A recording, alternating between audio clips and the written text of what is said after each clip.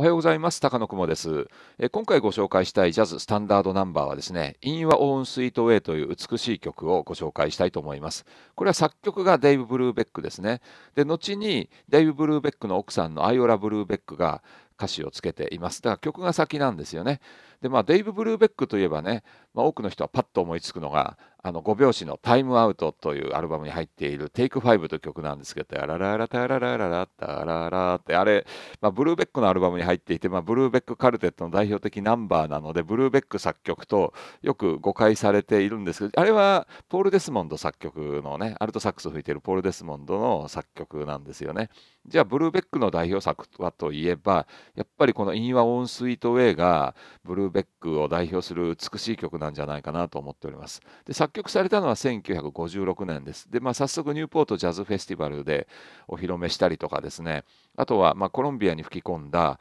ブルーベック・プレイズ・ブルーベックというですね、ソロピアノアルバムにもあの収録していますね。まあ、非常に美しい曲で、まあね、In Your Own Sweet Way、まあ、Going My Way みたいな感じの歌詞を奥さんつけてますけれども、あなたはもう勝手気ままなやり方で世界を破滅に導いたみたいな、そなんかすごい偉い出だしの歌詞にはなっているんですけれどもね、でもあなたは今転換期にあるのよみたいな、なんかね、占い師が言ってるような、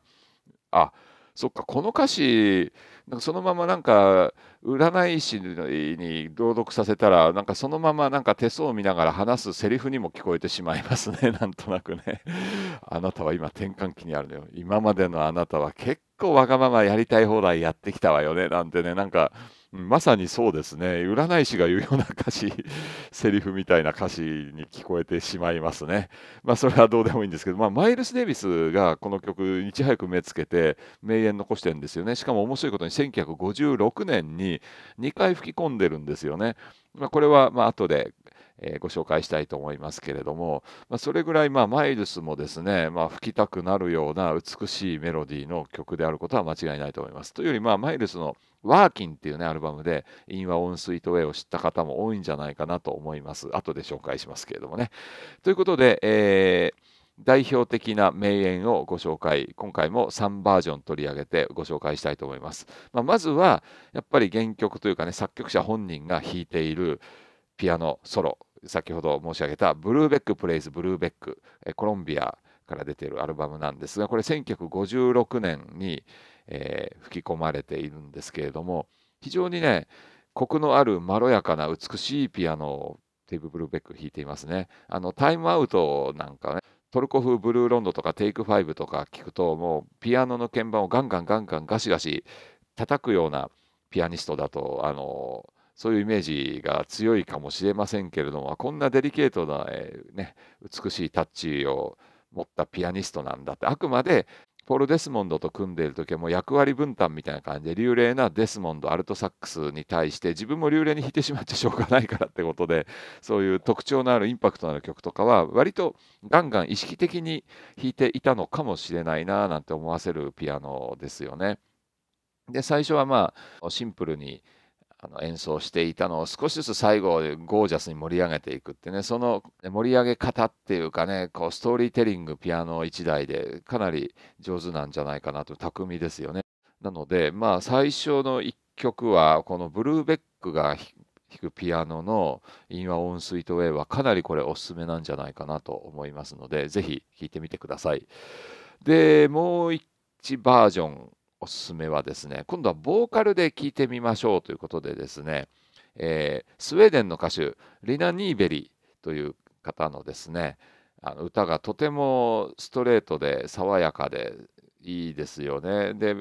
これはですね、クローズというアルバムに入っているんですけれども、バックでピアノを弾いているのがですね、あのエスビョン・スベンソンなんですね。まあ、エスビョン・スベンソンとかね、エスビョルン・スベンソンとかとあの表記されることもありますけれども、まあ、エスビョルンが一番多いのかな、エスビョルン・スベンソン、まあ、EST で有名なピアニストなんですけれども、まあ、残念ながら2008年にですね、スキューバダイビング中に事故死されているんですよね。で、まあ、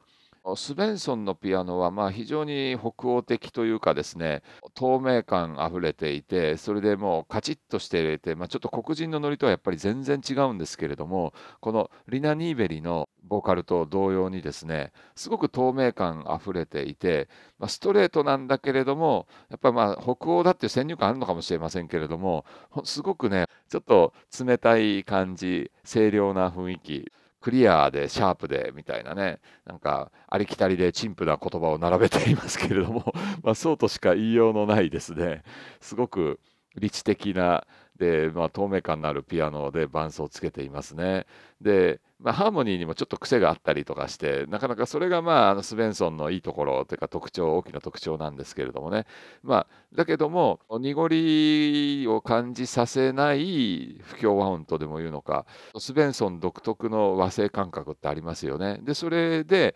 えー、ニーベリの歌を邪魔しないできちんと結構悪の強いアクセントとなるようなハーモニーも弾いたりはしてるんですけれども全く邪魔していないともう2人のニベリの歌とスベンソンのピアノがもう一つに溶け合っていてあの短い演奏時間なんですけれどもすごく充実した時間を味わうことができるインワオンスイートウェイです。こちらもすごいおすすめですね。で最後にお勧めしたのはやっぱマイルスですよね。まあワーキンの演奏が有名なんですけれども1956年のね5月に録音されたいわゆるマラソンセッションと言われるね4枚分1956年の5月と10月に吹き込んでしまったっていうね有名なセッションがあるんですけれどもその中の1曲で「 In Your Own Sweet Way をマイルスはミュートをつけたトランペットでプレイしてるんですけれどもね実はこの2ヶ月前にもマイルスは In Your Own Sweet Way を録音してるんですね。で、個人的に私はこっちのバージョンの方が好きです。 Collectors' Items というですね、アルバムに入っているんですけれども、これは Workin'で演奏されているバージョンよりもテンポがやや遅めなんですね。で、 Workin'の In Your Own Sweet Way はテナサックスコルトレーンなんですけれどもね、まあ、当時黄金のマイルス・クインテットに所属していていたテナーサックス奏者なんですけれどもこちらの Collectors' Items に参加しているテナーサックス奏者はソニー・ロリンズなんですよ。で硬いコルトレーンに対してもう柔らかくで温かく迫ってくるロリンズこれ聴き比べてみるのも興味深いことだと思うんですけれども私の場合はやっぱりこの曲のアプローチはテナーサックスにおいてはソニー・ロリンズの方がちょっと1枚上手かななんて思ってますね。まあそういう理由もあって、私はワーキンバージョンよりもコレクターズアイテムズバージョンの方が少しちょっとだけ皮1枚好きかなって感じですよね。でもマイルス、本当この曲好きなんだなと思います。このソニー・ロリンズと共演したインワ・オン・スイート・ウェイは1956年の3月16日に録音してるんですよ。で、そのたった2ヶ月後にまた録音してますからね、今度はコルトレーンとかレッド・ガーランドとかね、フィリー・ジョ・ポール・チェンバースとね、1956年の有名な5月11日に録音してるので、まあ、どれだけ好きなのかっていうのがすごい分かりますよね。それでやっぱり演奏もマイルスの場合はまあきっとその間ライブとかでも何度も演奏してるんでしょうね。だからもう確信持ったすごく力強いプレーになってはいますワーキンの方が。テンポも早めになってピシッと決めるところは決めると。でコレクターズアイテムズのマイルスの方はもう少し優しげな表情を見せている感じがします。まあ大きくは変わりはしないんですけれどもまあテンポ設定とかもあるのかもしれませんけれどもね。でちなみにコレクターズアイテムズのピアノはトミー・フラナガンなんですよ。そこがまたいいんですよね。で、ドラムもアート・テイラーなんですよ。だから、控えめなリズムセクションって感じはしますよね。トミー・フラナガンのピアノソロもすごくいいんですけれどもね、もう全く出しゃばらないで控えめなんだけど、さりげなくツボを押さえてるって感じでね。で、アート・テイラーのドラムもフィリー・ジョーよりは出しゃばらない感じで、堅実にリズムを刻んでいるという感じなんですね。だからまあ、やや単調と感じられる方もいらっしゃるかもしれませんけれども、まあ、それも含めて、なんか、すごくほっこりする演奏なので、こっちのコレクターズアイテムズのバージョンもぜひ聴いていただきたいななんて思っています。本当ソフトでまろやかでうっとりする演奏ですね。ということで今回は、えー、インワオンスイートウェイデイブ・ブルーベック作曲のおすすめ楽曲を3種類紹介させていただきました。ということで、また別な動画でお会いいたしましょう。さよなら。バイバイよ。